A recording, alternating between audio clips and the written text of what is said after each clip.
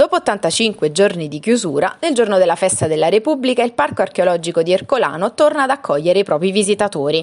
Rispettando tutte le norme del distanziamento sociale per la sicurezza di ogni visitatore e di ogni lavoratore, si riparte dunque con l'orario 10.30, 19.30 fino al mese di ottobre, rispettando un giorno di chiusura settimanale il martedì per una sanificazione periodica. In queste prime settimane è previsto un ingresso massimo di 60 persone distribuite in ogni ora per un massimo di 480 ingressi giornalieri giornalieri. Al checkpoint controllo della temperatura corporea e della mascherina. Una volta varcato il controllo biglietti, i visitatori accedono al padiglione della barca dove è esposta la barca scoperta sull'antica spiaggia e una serie di oggetti che legano a filo doppio Ercolano con il mare. È la volta poi dell'antiquarium con l'esposizione permanente Splendori.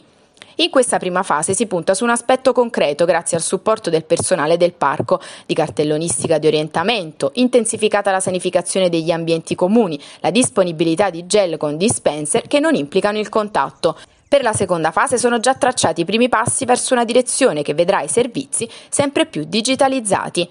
Il parco ritorna a vivere, le parole del direttore Francesco Sirano. Gli scavi riaprono dopo 85 giorni di chiusura. Questo sito non era mai stato chiuso al pubblico, nemmeno durante la seconda guerra mondiale, quando era stato usato come rifugio. Finalmente oggi siamo felici, riapriamo al nostro pubblico e abbiamo come nostro punto di riferimento la sicurezza ma anche una concreta esperienza di conoscenza. Chi viene oggi, chi verrà nei prossimi giorni potrà sia eh, passeggiare in totale sicurezza seguendo le nostre indicazioni, sia vedere il sito praticamente nella stessa maniera in cui l'avrebbe visto prima di questa triste vicenda del Covid.